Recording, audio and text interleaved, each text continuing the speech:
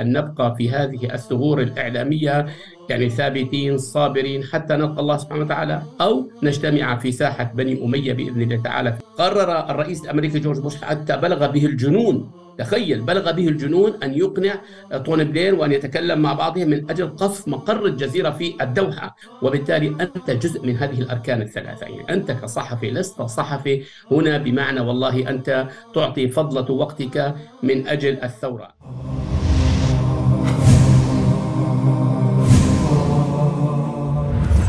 السلام عليكم.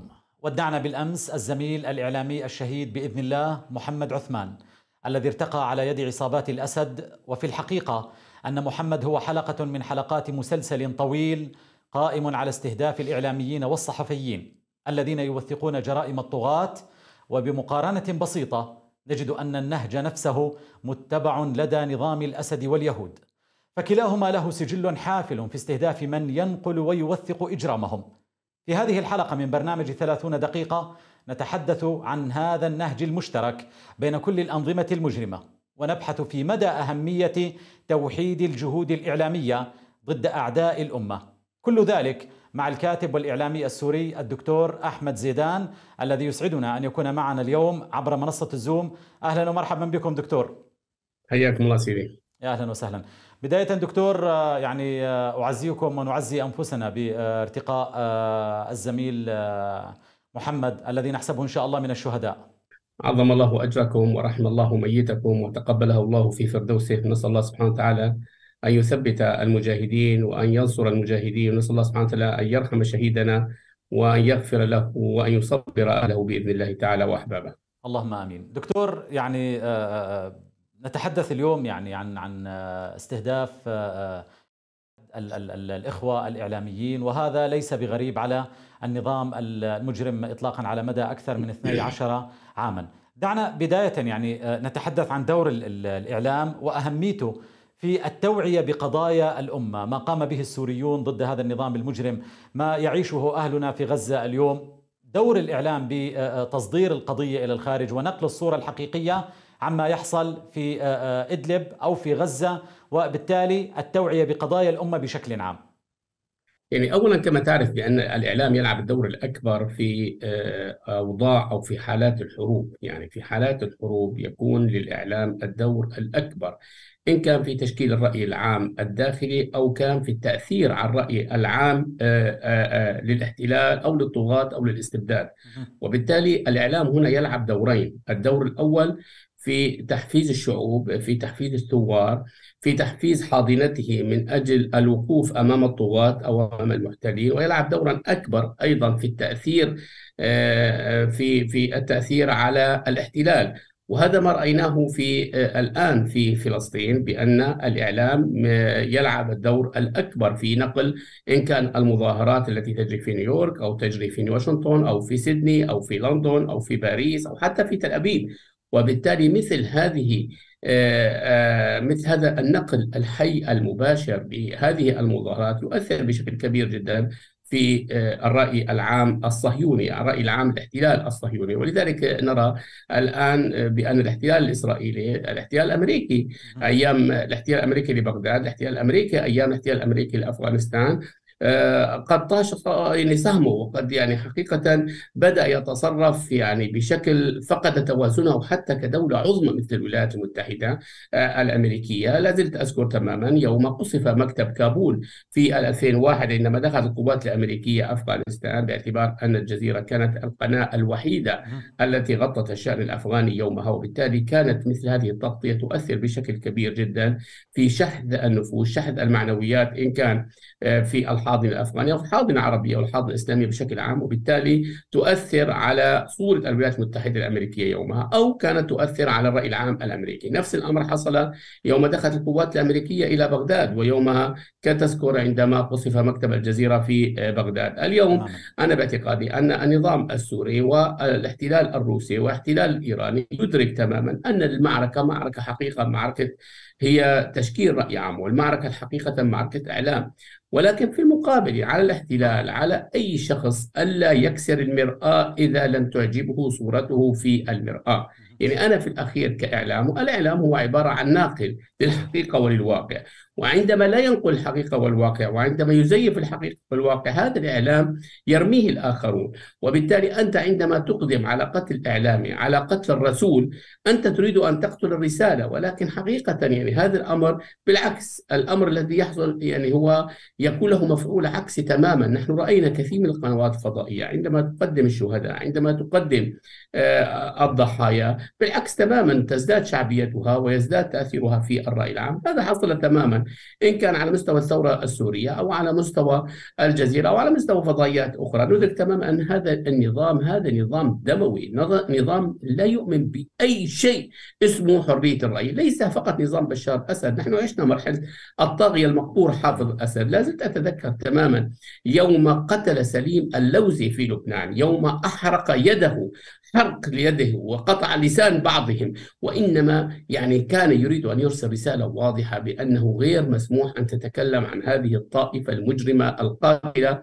نفس الأمر عندما كانت صحيفة السياسة الكويتية آه، يعني آه، تعطي بعض آه، تعطي بعض الأخبار ذات المصداقية في الثمانينيات. ذهب إلى إلى إلى إلى لندن وإلى الكويت وفجر مبنى السفا... مبنى السياسة الكويتية. وللأسف الشديد نجد الآن تمام. هذا العجوز أحمد جارر رئيس تحرير السياسة الكويتية كيف يتزلف إلى هذا المجرم بشار الأسد بينما كان في تلك الفترة يعادي أباه. تمام الدكتور قبل يوم أو يومين يعني قرأت آه، لإحدى آه، كتاباتكم يعني تتحدث على أنه آه، إبلاغ الكيان الصهيوني لبعض الوكالات الإعلامية العاملة في فلسطين بأنها يعني غير مسؤولة عن سلامة طواقمها. هذا يذكرك باستهداف يعني مكتب الجزيرة في العراق وفي أفغانستان.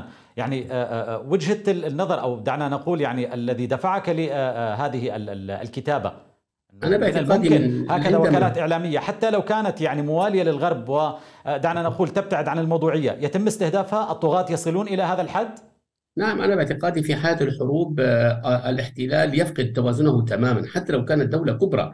ولذلك أنا من عندما آه، نشرت هذا الكلام وكالة رويترز وكالة فرانس بريس بأن الكيان الصهيوني هدد مراسلي رويترز وفرانس بريس بأنه لن يضمن سلامتهما. هذه كانت إشارة أنا باعتقادي بالنسبة لي خطيرة جدا وخطيرة خطيرة جدا بأنه الآن يطالب الصحفيين بمغادرة آه، المنطقة وبالتالي حتى يستطيع أن يقوم بالمجزرة بدون أي شهود بدون أي مراسلين بدون أي كاميرا يعني قتل بلا بلا كاميرا قتل بلا أضواء قتل بلا رأي عام قتل يعني مذبحة كاملة متكاملة الأركان وليس هناك شهود على هذه المذبحة. أنا باعتقادي عندما سمعت هذا الكلام كان مرعب بالنسبة لي وبالتالي مباشرة بعد إذا تذكر قطعوا الإنترنت عن المنطقة صحيح. وكانت هذه الجريمة الثانية. ثم آه، حصل إذا تذكر بأن تسربت معلومات أن الولايات المتحدة الأمريكية ضغطت على قناة الجزيرة من أجل تخفيف حدة التغطية كما سموها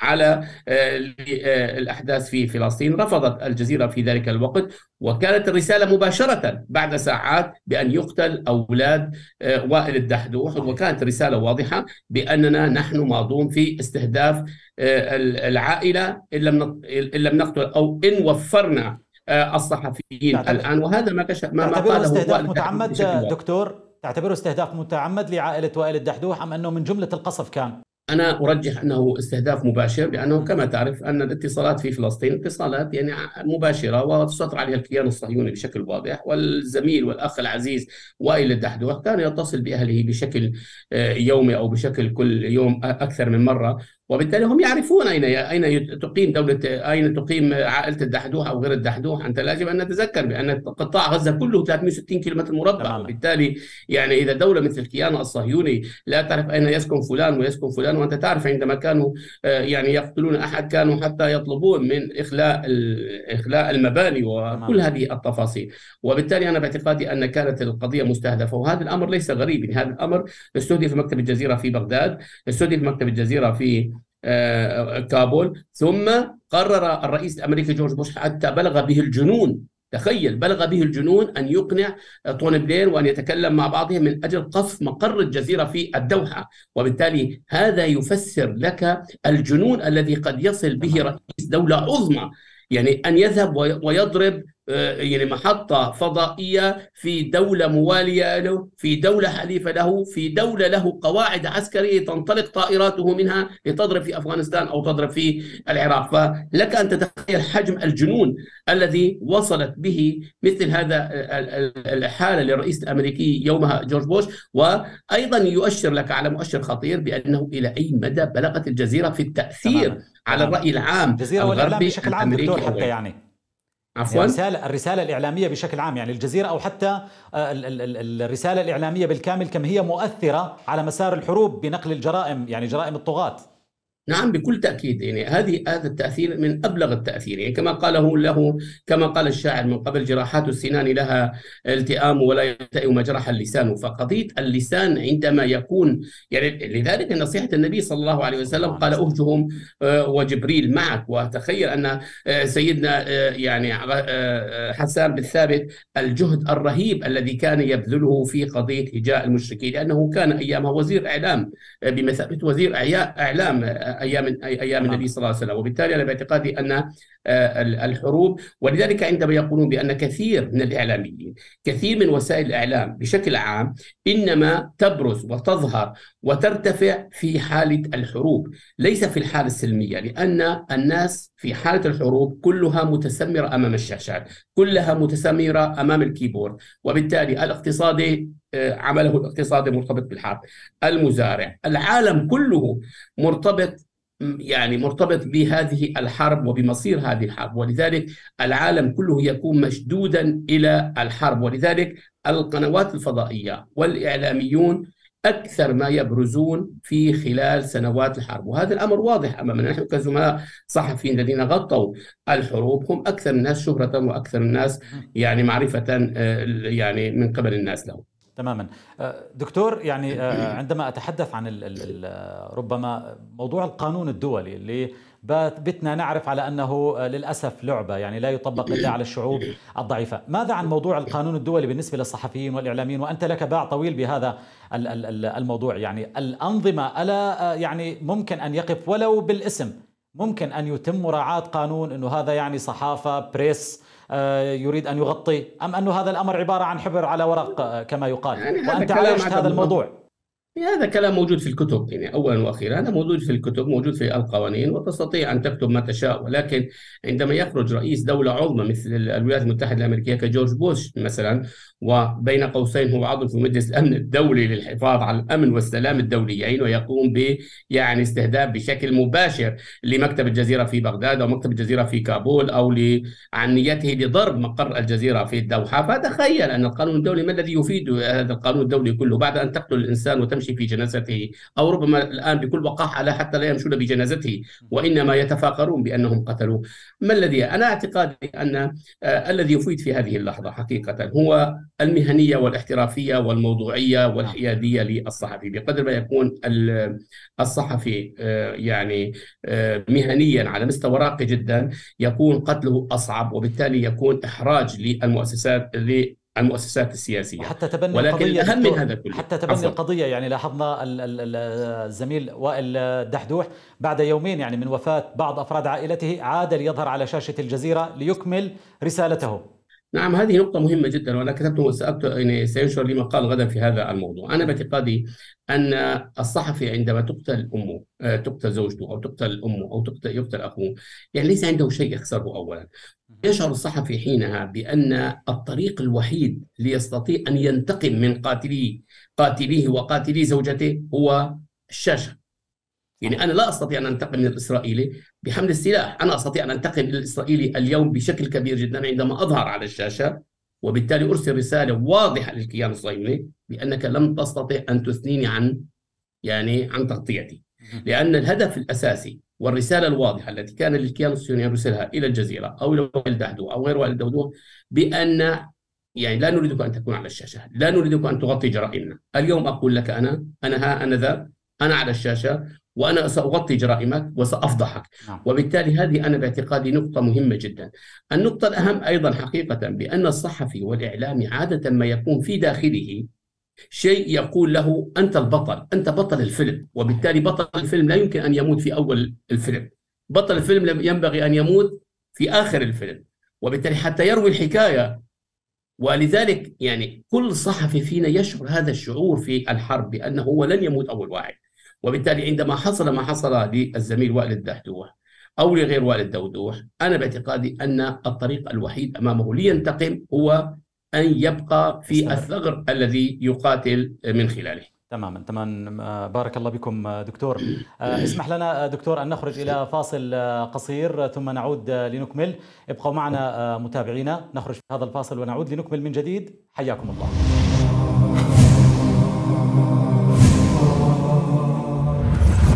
مرحبا بكم من جديد متابعينا. مرحبا بك دكتور. حياكم الله سيدي. حياك الله. دكتور يعني لو عدنا إلى هنا إلى الشمال السوري بعد أن تحدثنا عن الرسالة الإعلامية وأهمية الرسالة الإعلامية في نقل الحقيقة عما يرتكبه الطغاة من جرائم بحق الشعوب البريئة، بالأمس تم يعني زف الأخ والزميل الإعلامي محمد عثمان والذي نحسبه إن شاء الله من الشهداء. لاحظت يعني هذا الانتشار الكبير حقيقة على مواقع التواصل الاجتماعي. دعنا نتحدث على أنه لا بد أن يكون يعني دم محمد عثمان نور ونار في طريق الصبر والنصر. وحلقة من حلقات المسلسل الطويل من استهداف الإعلاميين والصحفيين سواء هنا في سوريا أو حتى في غزة أو في أي منطقة أخرى من مناطق الصراع حول العالم وخاصة ضد المسلمين. يعني بكل تأكيد أن هذا النظام المجرم لن يفرق بين إعلامي وغير إعلامي. ربما الإعلامي يكون له الأولوية بالنسبة لهذا النظام المجرم كما رأينا من قبل أيضا عندما اغتال محمد الحوراني مراسل الجزيرة في جنوب جنوب سوريا واغتال عشرات الإعلاميين السوريين أو اختطفهم أو عذبهم أو هجرهم. وبالتالي هذا النظام المجرم منذ البداية أكبر عدو له هو الإعلام هو أكبر عدو له هو نشر الأخبار وفضحه وتعريته والتشهير به. وأنا باعتقادي أن ما قام به الزميل محمد عثمان وما قامت به مؤسسته وما يقوم به الإعلاميون من أمثالكم في راديو الثورة وفي كل المنابر الثورية وفي كل الثغور السورية الثورية التي تناضل وتقاتل من داخل أراضي المحررة. أنا باعتقادي بأنه سيسجل التاريخ من أحرف بالنور بأن هذا الجهد الذي تقومون به لا يقل عن الجهد الذي يقوم به الأبطال المجاهدين الأبطال المجاهدون في الثغور ضد النظام المجرم. لأن هذا العمل الذي يقوم به من هو في الثغور أثناء القتال؟ إذا لم يتم عكس أعمالهم على شاشاتنا وإذا لم يتم عكس هذه البطولات على يعني مواقعنا التواصل الاجتماعي وعلى وسائل الإعلام أنا باعتقادي أن النظام سيكون في حالة ربما منزعج ولكن الحالة التي وصلت إليها من حيث تجيش الرأي العام من حيث الضغط على الحاضنة الاجتماعية التي لديه أمر لا يحتمل بالنسبة لهذا النظام وهو نظام كما تعرف بأنه نظام استبدادي احادي الرؤية لا يستطيع أن يؤمن برؤية الرؤية الرؤى المتعددة، أنا باعتقادي أنه خلال الثورة السورية أنتجت الثورة السورية بفضل الله سبحانه وتعالى مفصل إعلامي مهم جدا وأنتجت إعلاميين يعني حقيقة ترفع لهم القبعة يكفيهم فخرا بأنهم بقوا في الساحة السورية ويكفيهم فخرا بأنهم ظلوا مع إخوانهم يقاتلون على ثغر من الثغور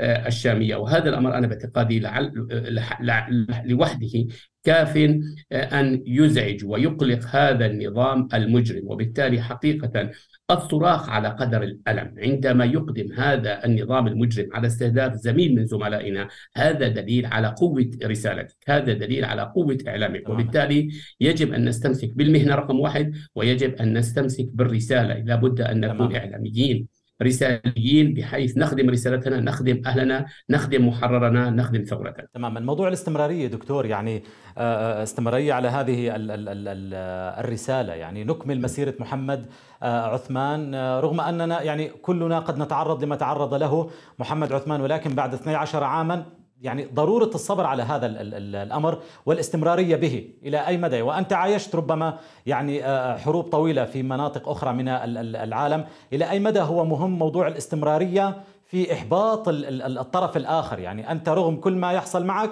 فأنت مستمر. مهما تم من قتل وإجرام أنت مستمر.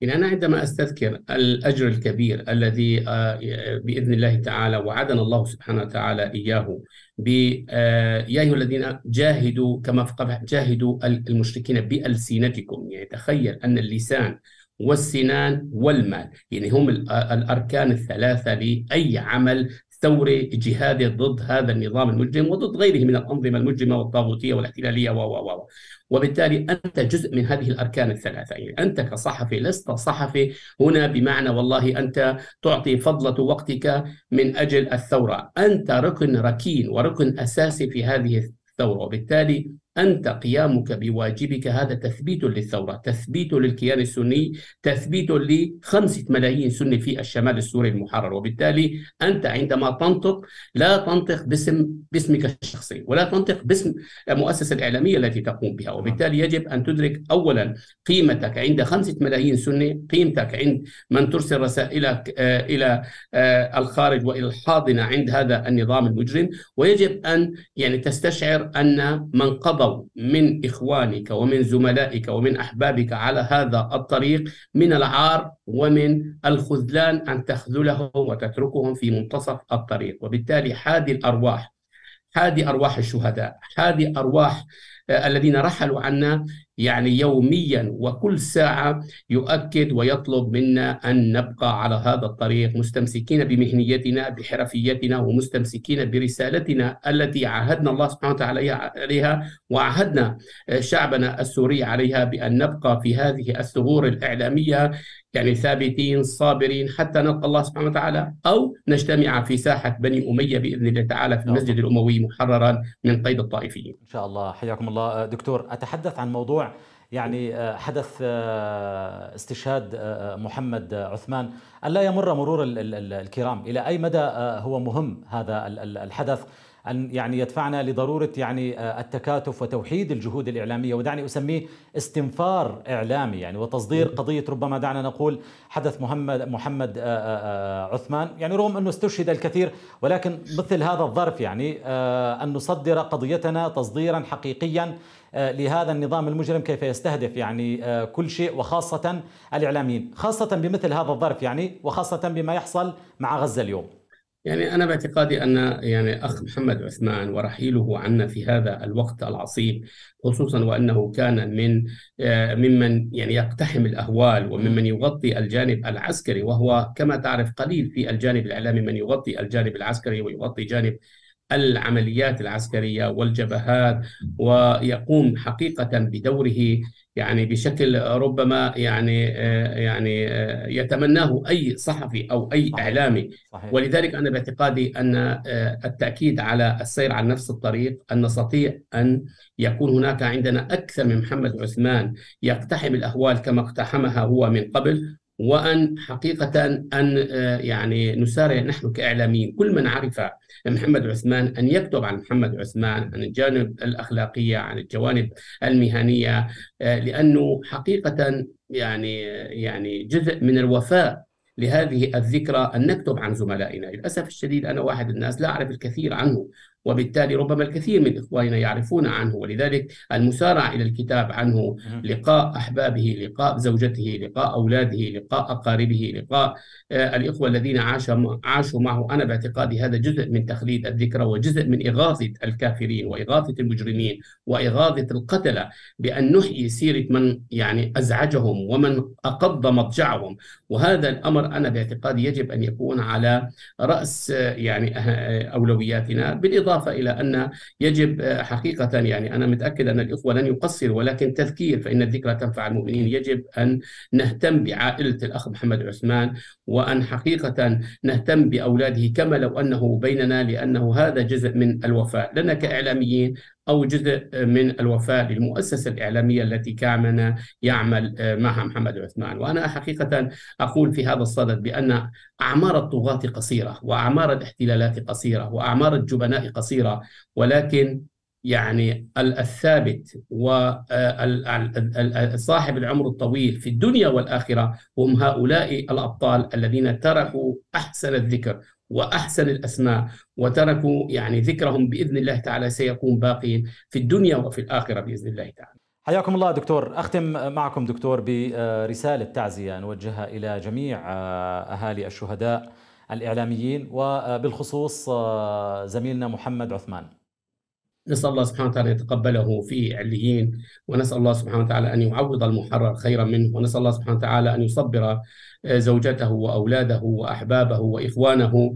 ونسأل الله سبحانه وتعالى أن يرحم شهداءنا من الإعلاميين الذين رحلوا عن هذه الدنيا ولم يروا سقوط هذه العصابة الطائفية المجرمة. نقول لهم بإذن الله تعالى نحن إخوانكم وزملاؤكم على الخط وعلى الطريق سائر بإذن الله تعالى حتى نجتمع في ساحة بني أمية محررا من قيد الطائفيين أو نلقاه بإذن الله تعالى في فردوسه بإذن الله تعالى مع نبينا وصحابتنا واعلامينا وشهدائنا وكل محبينا وإخواننا في جنة عرضها السماوات والأرض بإذن الله. اللهم آمين اللهم آمين. لم يبقى لي إلا أن أشكرك الدكتور أحمد زيدان الكاتب والإعلامي السوري. كنت معنا عبر منصة الزوم بارك الله بكم دكتور. حياكم الله بارك الله فيكم واكرمكم الله كتب الله أجركم. متابعينا أكيد يعني عزاؤنا الحار لذوي الشهيد محمد عثمان كل العزاء أكيد لنا جميعا هنا في الشمال. المحرر أنتظرونا في حلقات قادمة. لكم التحية والسلام عليكم.